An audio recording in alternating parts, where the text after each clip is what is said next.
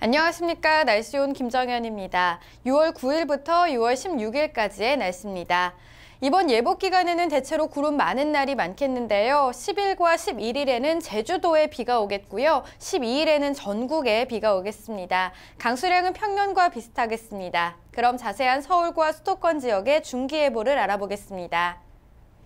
이번 예보 기간 서울과 수도권 지역에는 대체로 구름 많은 날이 많겠는데요. 12일 오전에 비가 오겠습니다. 기온은 평년과 비슷하거나 평년보다 조금 높겠는데요. 아침 기온은 18도에서 20도, 낮 기온은 27도에서 31도의 분포를 보이겠습니다.